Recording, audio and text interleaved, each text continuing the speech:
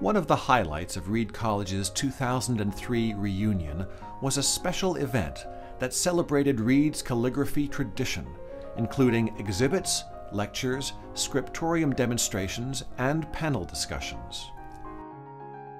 Interested Reed alumni and friends were asked to write a short testimonial about how their personal or professional lives had been influenced by Lloyd Reynolds and Robert Palladino.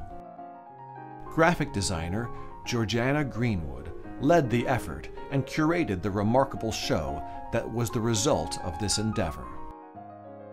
Artist Margot Voorhees Thompson was introduced to Lloyd as a 14 year old student during an assembly. She became a friend for life and wrote this about her mentor.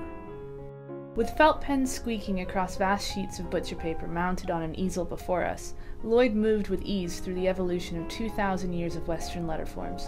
His speech was audacious. The intricacy of information imparted through his demonstration and accompanying commentary was exciting and seductive. All of it delivered in his inimitable style, a dazzling performance of insights. Through the course of a single hour, Lloyd was able to take more facts and ideas than most individuals contemplate in a lifetime and wind them into an interconnected and complex web of fascination. This was his natural pace type designers, teachers, and graphic artists contributed, including Gary Snyder, Inga Dubay, Lucinda Parker, Vern Rutsala, Sumner Stone, Kris Holmes, Mike McPherson, Georgianna Greenwood, Elizabeth Anderson, Paul Shaw, Barbara Getty, Bill Gunderson, and Clyde Van Cleve. Over 90 written testimonials were received from their students.